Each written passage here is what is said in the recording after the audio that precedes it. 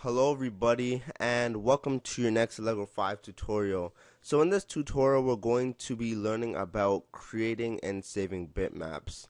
Uh, now a lot of you might not think this is important but it could real it could really be a, a good thing to incorporate in your games, especially if you you want to have a uh, a character creator or something in your game. Then this is really, really, really a, a good thing to look into. Okay, so first of all, this is the code from the sprite animation tutorial, sprite sheet animation tutorial, not the individual sprite, the sprite sheet animation, tutorials 13 and 14. Okay, so this code is, is exactly the same, and if you don't have the source code, you can download it off my website. Okay, so right now in my project folder I have two different images okay? I have one called person and one called hair okay? So what I'm going to be doing is joining the person and the hair into one image and displaying it to the screen uh, that helps in because if you you could easily draw them as two different instances and you could say uh, draw the person and draw the hair after. But if you can combine them into one bitmap it's less work for the hardware or less work for the uh, for the computer or whatever and uh, you can save it if you need it for later use. Like say you say you have a character created in your game, and then you let them create a person. They create a person like this with blue hair. Then you can save it as its own separate instance. So when you load the when the person loads the game again, right? Uh, then you can just load in that image rather than loading in these two different images and having to join them again. You can just um, load the other image. Uh, so I'm going to be showing you how to do that for now. So right now we're going to uh, get rid of the load bitmap and we're going to say al create bitmap. And for now, uh, we're not going to, we're going to leave that there for now. And what we're going to do, we're going to do al underscore bitmap. And we're going to just do person al load bitmap. And it's called person dot person.png and we're going to create another bitmap called hair. AL load bitmap and hair.png and then as for the create bitmap we need to specify width and a height. So we're going to say al get bitmap width.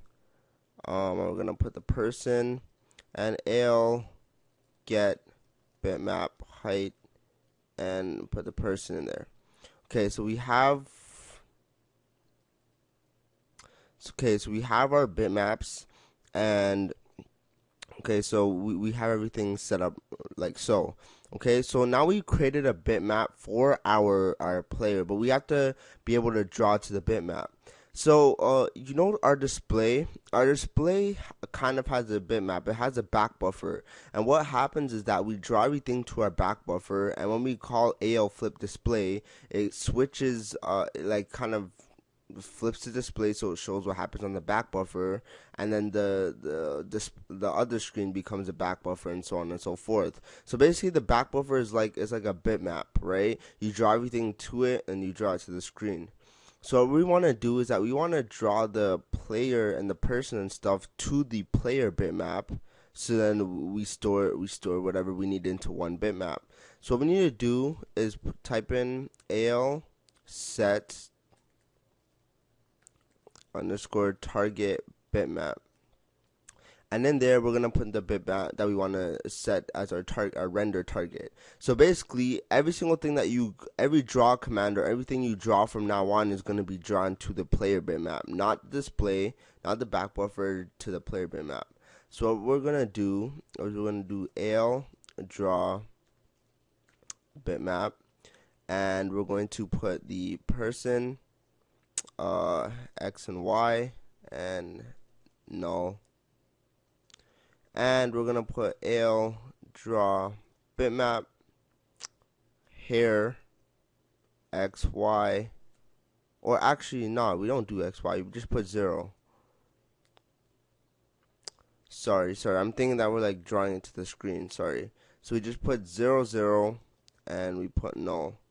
Uh, the reason why we have zero zero is because on our current our current player bitmap is the, the width and height of um, each of our images, right? Uh, so we're just drawing it at the top corner of this player bitmap. So we're not drawing it according to screen coordinates. We're just drawing it according to these bitmaps coordinates. So sorry if I confuse you, but just set it to zero zero so it, it draws it on our bitmap. So once we draw everything to our bitmap, uh, what we want to do is we we're going we're gonna want to save the image. Okay, so we'll do al save bitmap. And we'll save this as player1.png and the bitmap we want to save is player. Okay so we stored all that stuff into our player bitmap and we're saving it as a png file called player1 okay so now we set our target to uh, player so we're drawing everything to our player class uh, to our player bitmap. But we need to revert it back to our display or to our back buffer so then we can actually draw stuff to the screen. So what we're going to do is we're to do al set target bitmap and we'll do al get back buffer. And then we put in the display in there and then everything will be uh, drawn according to the display okay uh, so that is basically it and oh for my images I'm just gonna change a few things the reason uh, before we use this player image that was three by four. This image is four by four. Uh, so I just gotta change some stuff in here.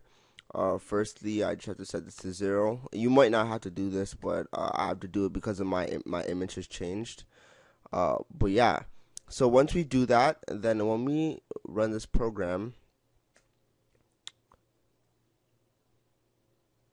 notice it combines the person with the hair right? So it combines this with this image, and we just created a new image called player one of a PNG file format. So then, if you want to load this in, a, in another game, or when when they load the game, then you can load it in rather than loading in these two Im, in, um, images. So that is it for this tutorial. I hope you enjoyed it. Thanks for watching, and bye.